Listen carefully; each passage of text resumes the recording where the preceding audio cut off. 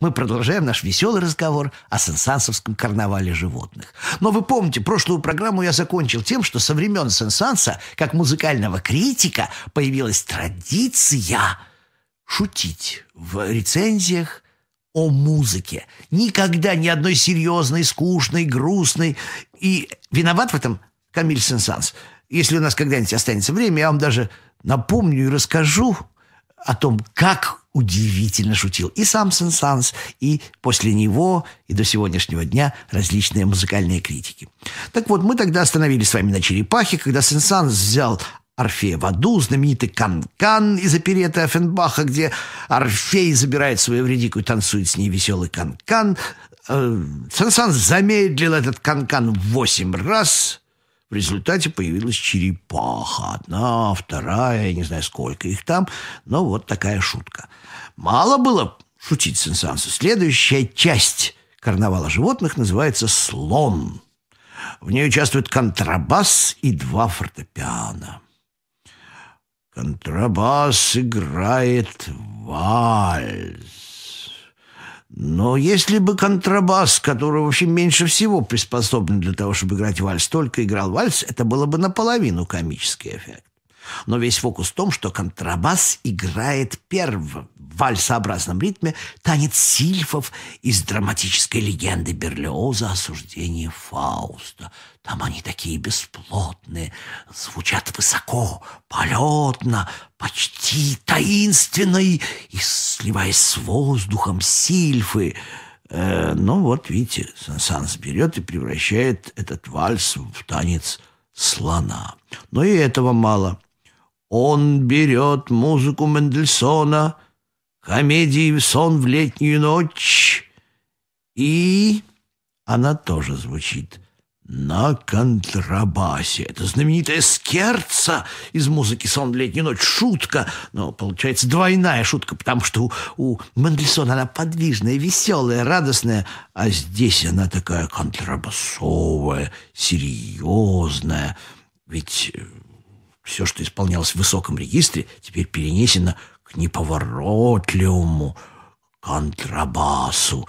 Получается, что это как бы танцующий слон. Что-то мне хочется вспомнить слон в посудной лавке. Слушайте.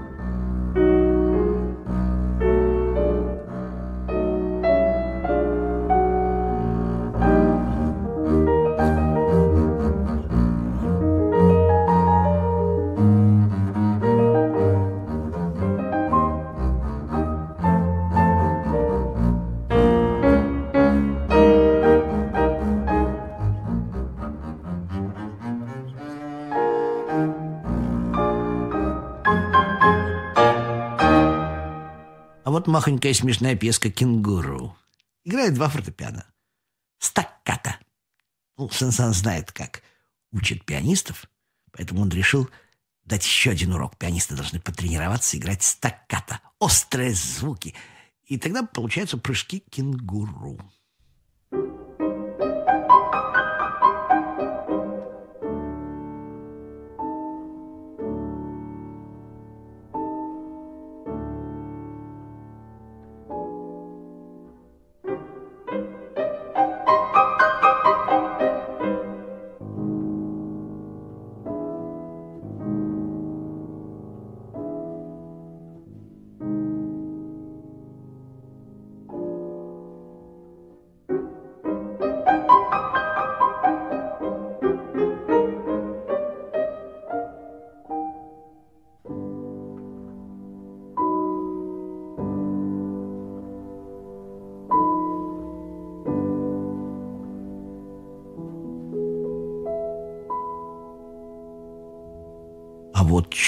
Чудная пьеса из карнавала животных «Аквариум». Флейта, стеклянная гармоника, струнные и фортепиано. Это потрясающая звукопись. Вдруг Сен-Санс перестает шутить, прыгать, хохмить, и появляется такое чудо импрессион, импрессионизма. Вот я не случайно сказал импрессионизма, потому что Сен-Санс в этой пьеске как бы подшучивает немножко над современными ему композиторами-импрессионистами, которые только-только появились и делают свои первые шаги. Год-то 1886. Слушайте, какое чудо. Совершенно замечательный прозрачный аквариум и рыбки.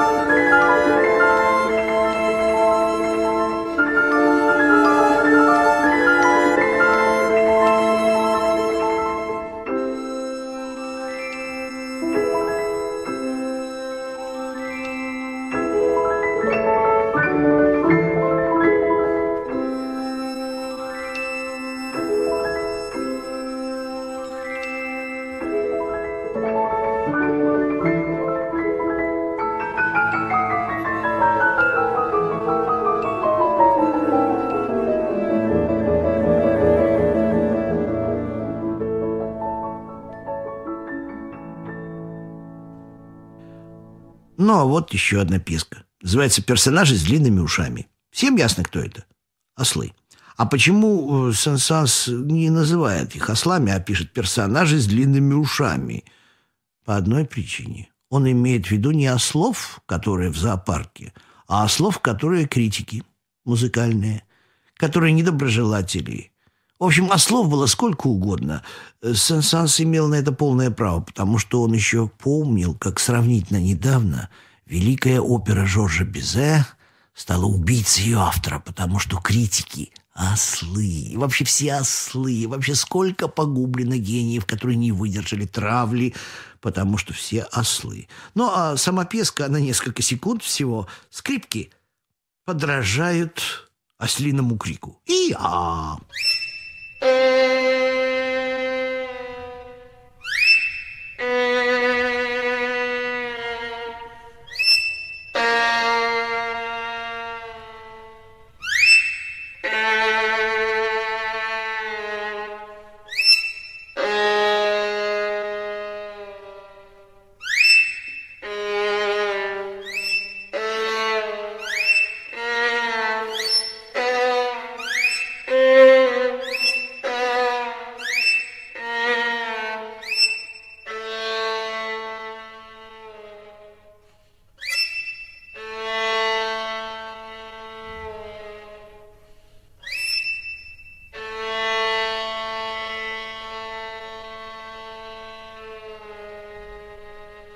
вот это вот пьеска «Кукушка в глубине леса». Кларнет и два фортепиано.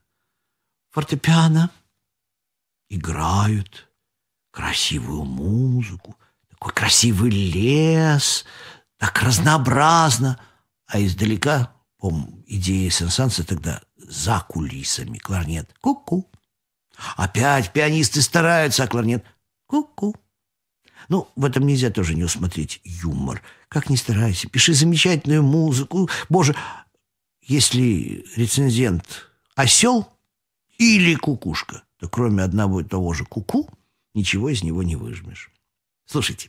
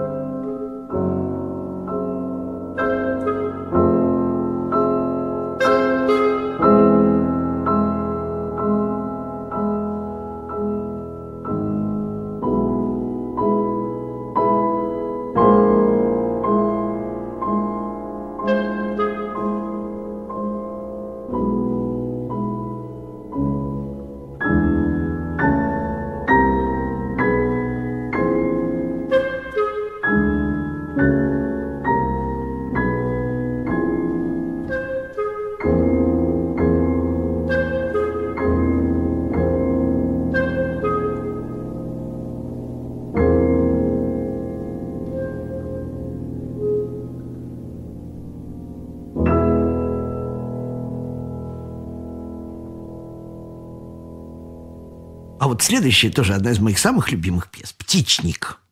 Флейта струнная и два фортепиано. Тремоло шелестит у струнных, совершенно потрясающий. А флейта играет щебет птичий. Потрясающе сделано.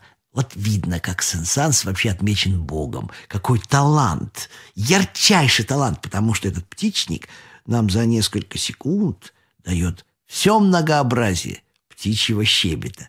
Это просто праздник. И опять же элемент импрессион. Э, Сенсанс или подшучивает над импрессионистами, или показывает, что талантливый композитор всегда импрессион, всегда впечатленец, всегда импрессионист. Слушайте. А вот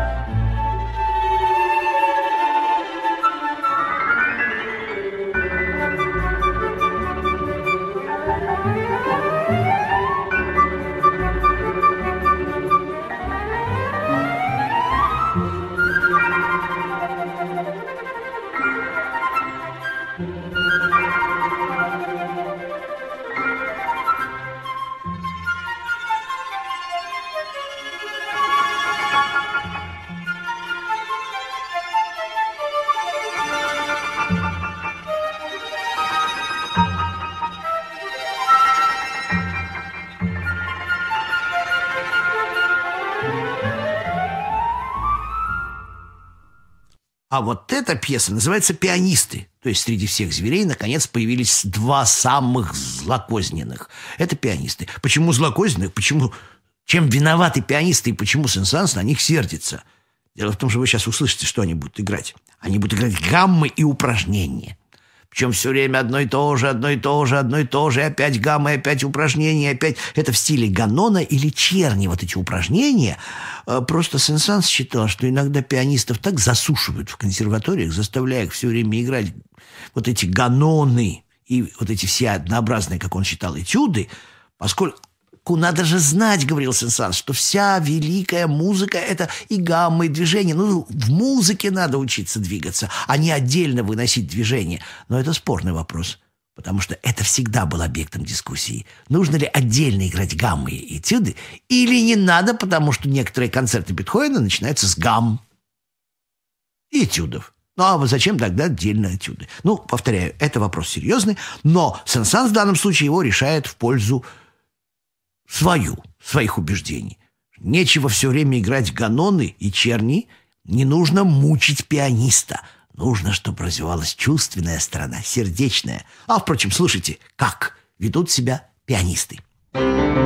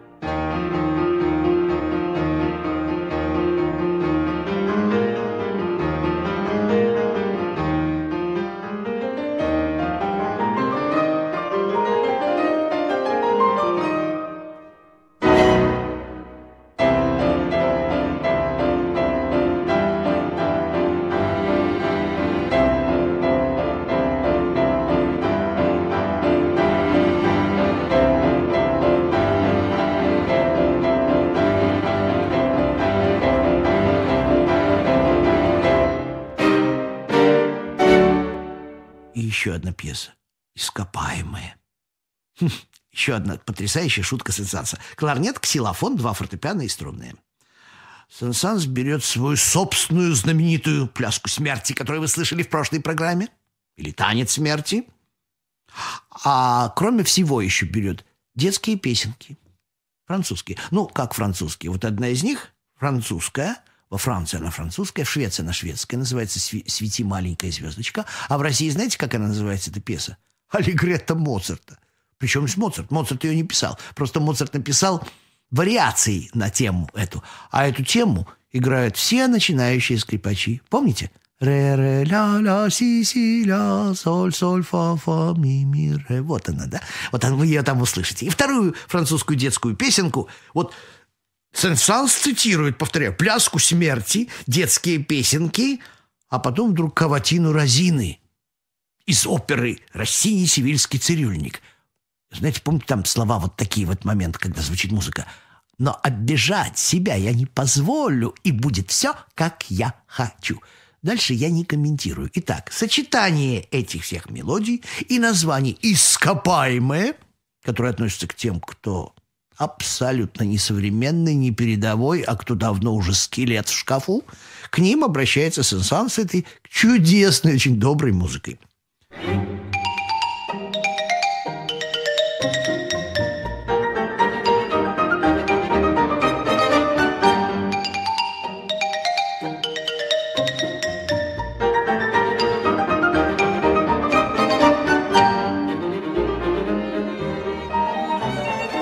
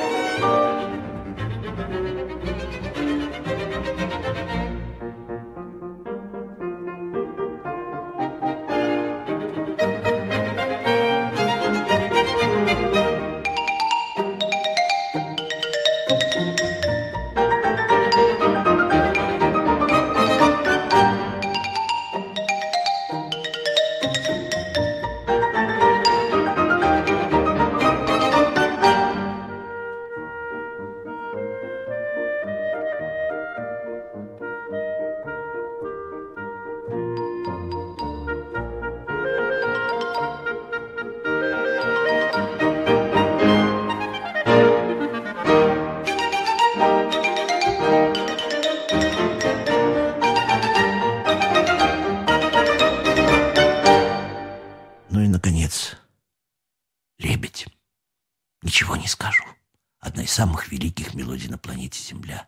Единственная серьезная музыка. Правда, Анна Павлова в постановке Фокина сделала умирающим лебедем. Сенсанс очень удивился, но ему понравилось. Но он сказал, у меня лебедь не умирает, хотя я с ним не согласен. Он у него объективно умер, потому что скрипка там перестает играть, и виолончель, скрипка в приложении или виолончель в оригинале перестает играть, а вода продолжает двигаться. То есть два рояля играют эту воду. Ну, ладно, спорить с Сенсансом я не хочу. У него объективно, на мой взгляд, лебедь умер. С точки зрения Сенсанса нет. А Фокин увидал умирающего лебедя. Но так или иначе, это одна из нескольких самых любимых мелодий во всей европейской музыкальной культуре. Если бы Сен-Санс ничего больше не написал, кроме этого серьезного лебедя в несерьезном карнавале животных, ему можно было бы ставить памятники во всех странах.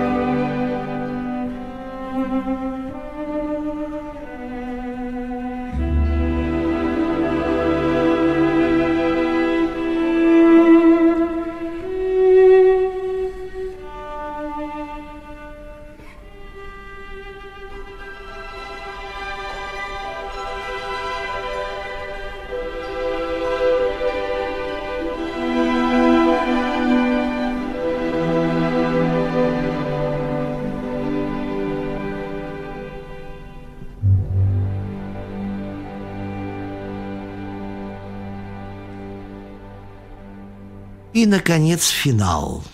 Исполняет весь ансамбль. Очень легкая, очень радостная тема, которая тоже обычно звучит во всяких мулен-ружах, во всяких варьете, когда выходит по очереди на поклон все. И поэтому эта мелодия сочетается с фрагментами и мотивами из некоторых предыдущих частей. И это все так весело, радостно. В общем, Сенсанс написал музыку гениального капустника. Не случайно в прошлой передаче я начал разговор о консерваторских капустниках, на которые стремились попасть все, кто только знал. Или, как обычно говорят, все, кто знал, должен был быть там. Ну вот и все. Слушайте «Карнавал животных», радуйтесь жизни и вместе с Сенсансом смейтесь над смертью.